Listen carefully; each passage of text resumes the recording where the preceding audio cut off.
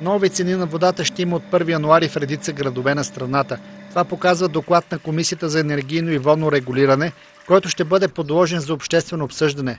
Новината бе разпространена и по медиите.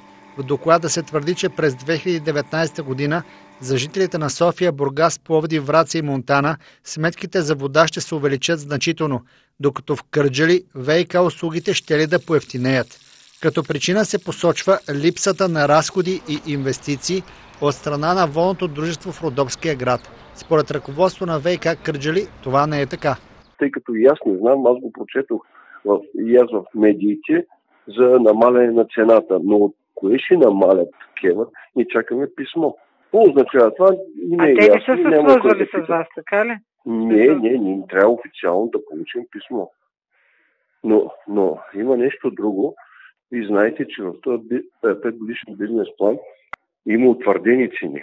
Така че те са, да речем, за водата специално, нали, 1,42 е сега, а за 19 година 1,47 с 5 стотинки. От 1 януари 2019 година водата в Кръджали трябва да поскъпне с 5 стотинки за кубик, защото това е заложено в 5 годишния бизнес план на дружеството. До края на годината Комисията за енергийно и водно регулиране трябва да реши дали ще стане това.